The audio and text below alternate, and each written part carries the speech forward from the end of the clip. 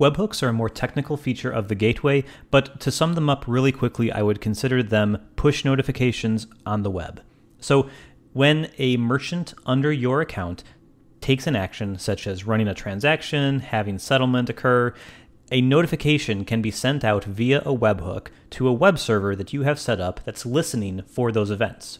And so this all happens automatically. Once you set a webhook up, everything just occurs and you get real time notifications of when certain events that you're interested in happen. So to set this up, you want to go into your affiliate settings.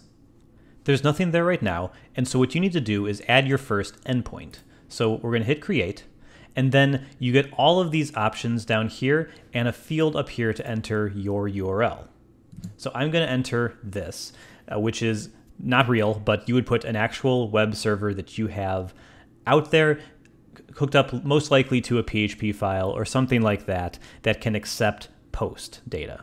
And then I just need to decide what events do I want to be notified about. And so we have quite a few here.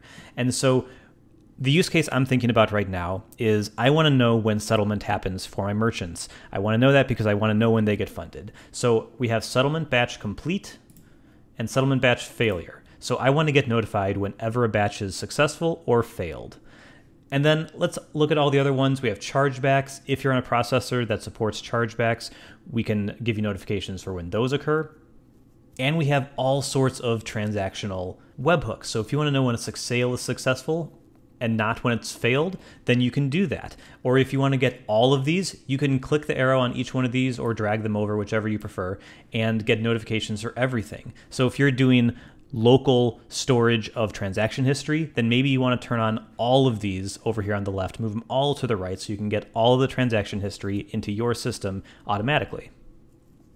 Now, I'm thinking about this as more of a thing that tells me when I need to talk to a merchant. So I'm going to get rid of the settlement batch complete. I'm going to add transaction sale unknown. I'm going to add all these unknowns actually. So I want to know when a transaction is marked as unknown because most likely what I need to do is talk to the processor and figure out what happened with that transaction. So now I know if a batch fails or any transaction type goes unknown, I'll get a webhook telling me that's the case.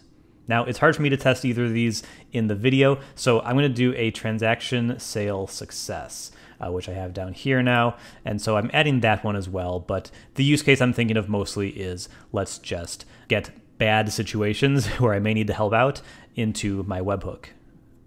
Now I'm going to save my changes, and there we go. So now all I need to do is I need to make sure that this URL is set up to accept webhooks. Now, this is not something we can cover in this video. This is a more technical thing. This is a pretty industry standard thing that you can do. Uh, the webhook will be delivered in JSON, and we give you the signing key, which your developer can use to validate. We'll pass back in each webhook. There will be header data that will let you use this signing key to validate that it's actually NMI who's sending you the webhook, because this is going to be a public URL anyone can send data to it. So you want to make sure that if it's transaction information and you're taking action on it, you want to make sure that's definitely coming from NMI. So we highly recommend using this. The documentation has an explanation as to how you can use this and an example of doing it in PHP.